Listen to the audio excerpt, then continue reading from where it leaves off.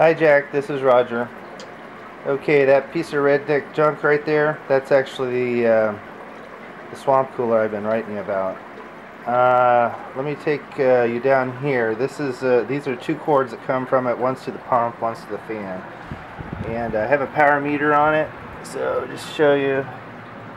Uh, like I said, it runs about 100 watts. It's reading. I don't know if you can see it there, but it's reading about uh, 97.6, uh, 96 watts. That could change a little depending on how hot the fan is and stuff for some reason. I got a little piece.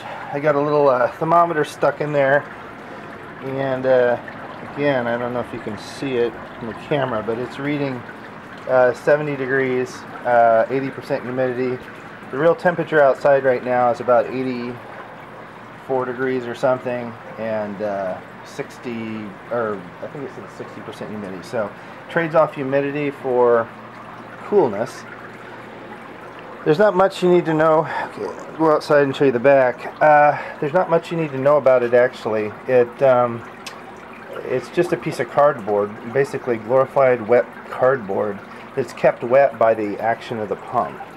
Okay, so if we look down in the water, the key here is is that you need to somehow get it situated over water so it drips back into the uh, bucket that it's over. It can be in the bucket set on cinder blocks or something obviously that can't be actually in the water because it will electrocute you if, if you do that. And then inside you'll see there's just a little pump and the water should be dripping even, evenly across the bottom. I mean that includes front and back towards the front of the fan towards the back of the fan and left and right. So this all has to be even. If you don't do that the uh, cardboard will not be efficient in its cooling. And you can see the spray bar there. Spray bar doesn't need should be situated in the middle okay and just kind of floppy there. It's because I don't expect the neat to be fastened down. But just get it situated so it's the middle of the uh, unit.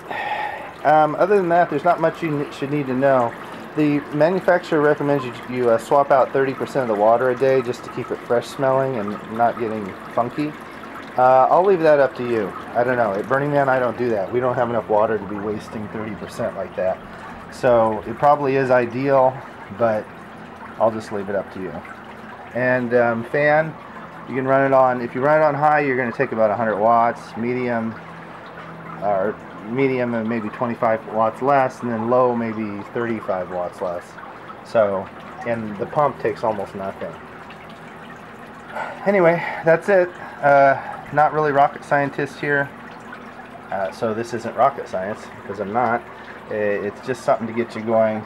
Um, the inside of the fan, by the way, one other thing I just thought of, the inside of the fan should remain so dry. So, I mean, there, you may see a little bit of wetness down the bottom, but if there's a lot of water spewing around those blades, that's not only dangerous, it will, excuse me, not only will ruin the fan, it could become dangerous, and you can get electrocuted.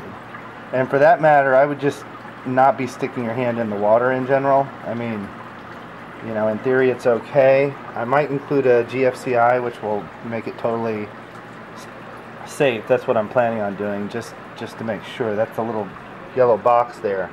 That will make it so that even if there was a short, you can never get hurt. But just in general, you know, something electrical over water, you probably don't want to be, you know, messing in it and swimming in it or something. Okay, all right, well, that's it. Uh, hope you enjoy it. I'll be sending it off tomorrow.